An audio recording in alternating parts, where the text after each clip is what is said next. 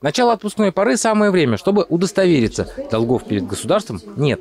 Налоговая служба совместно с судебными приставами не устают напоминать неплательщикам о невыполненных обязательствах. У нас как бы более 17 арестов. Последний у нас был рейд на две недели назад совместно с приставами. То есть было арестовано еще плюс два транспортных средства. И в период уже а, срок мы, получается, налогоплательщикам были уплачены, сразу же погашены суммы задолженности. Пресс-конференция налоговой скорее профилактическое мероприятие, чем сигнал о бедствии. Нет какого-то особого роста задолженности. Пресс-конференция налоговой скорее профилактическое мероприятие, чем сигнал о бедствии.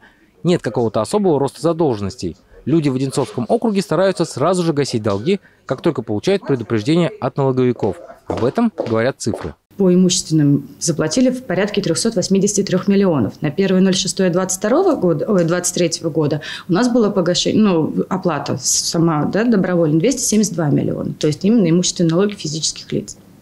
То есть у нас долги платятся, своевременно люди стараются гасить, чтобы не было неразыскания в дальнейшем. Еще одна летняя тема – продавцы арбузов, дыни и прочие участники сезонных ярмарок имеют право продавать без кассовых аппаратов, а вот остальные – нет. Покупателям обязаны вручить чек, в котором будет указано время, имя продавца и QR-код. В большинстве своем представители торговли в нашем округе это требование соблюдают. Если взять любой, э, допустим, проект за 100%, да, ну, нарушений будет ну, до 5%. Тимур Гайсин, Станислав Трифонов, телекомпания «Одинцова».